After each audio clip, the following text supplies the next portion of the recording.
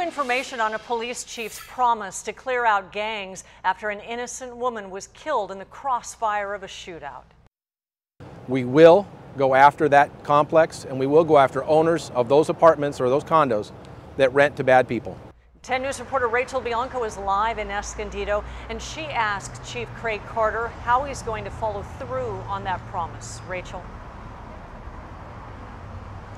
Kimberly, you can see the flowers and the candles. This is the spot where Cathy Kennedy lost control of her car after being shot in the head. The complex that the chief is referring to is right here, and you can see where some gang tagging was painted over. The chief says he is determined to get the gangs out of this area. Oh, poor thing. There we go. Now I hope it burns.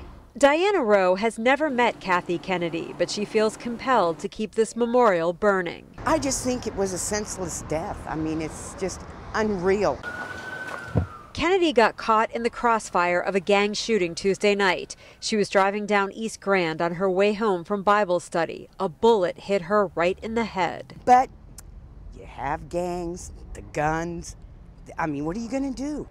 Police Chief Craig Carter says what he's going to do is go after the landlords who rent to gang members. And I don't often call out an individual location, but I got to tell you that my frustration level is very high.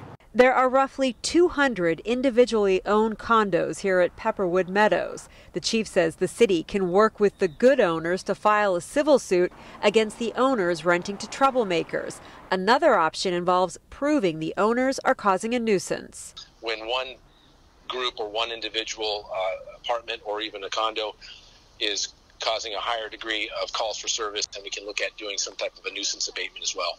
The police department just recently finished a major neighborhood transformation project at this complex. Since then, the chief says gang crime has come down. Uh, it appears they've gone backwards, and now we're, we're back to trying to make sure that we re recapture it for the community. Recapture it so people like Rowe can feel safe again. This was just too close to home for me. Made me really nervous and sad.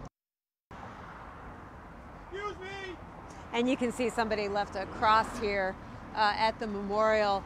Friends say that Kennedy was devoted to her church. She worked with the youth ministry, uh, devoted to trying to keep young people out of trouble. The chief says they are following up on at least 30 tips since last night. Reporting live in Escondido, Rachel Bianco, 10 News. Rachel, thank you.